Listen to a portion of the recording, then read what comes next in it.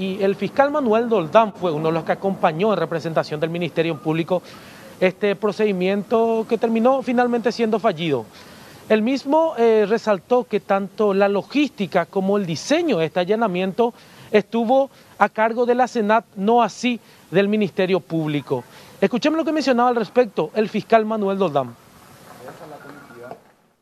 En primer lugar, yo, yo quiero dejar un, sin atribuir responsabilidad a ningún cuerpo oficial del Estado, a ninguna fuerza de operación especial del Estado, ninguna fuerza de seguridad del Estado, ni judicial ni policial. Sin atribuir responsabilidades, yo puedo decir que lo que nosotros percibimos en el procedimiento estuvo reflejado en las imputaciones que nosotros hemos hecho en contra de personas determinadas vinculadas al sector de seguridad del predio en donde estábamos realizando el allanamiento. Primero.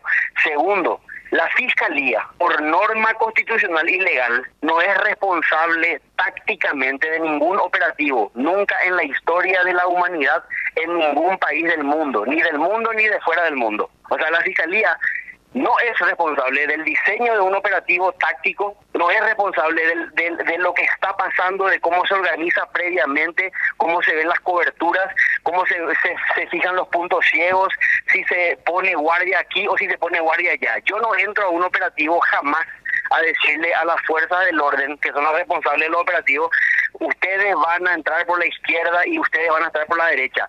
Todo lo que sea operación táctica es responsabilidad de las fuerzas de seguridad. En este caso, en este operativo concreto, de la Senat, exclusivamente de la Senat.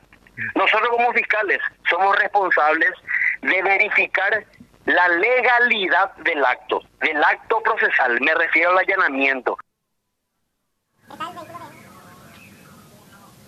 Esto fue lo que mencionaba entonces el fiscal Manuel Doldán desmarcándose por parte del Ministerio Público de este allanamiento que se realizó en la zona de Hernandaria y donde finalmente terminó escapando este presunto narco brasileño. Lo cierto y lo concreto hasta ahora es que fueron detenidos y procesados, en este caso dos personas, tres personas, estamos hablando de dos guardias de seguridad y la sobrina de este presunto narco que terminó huyendo de la zona de Hernandarias.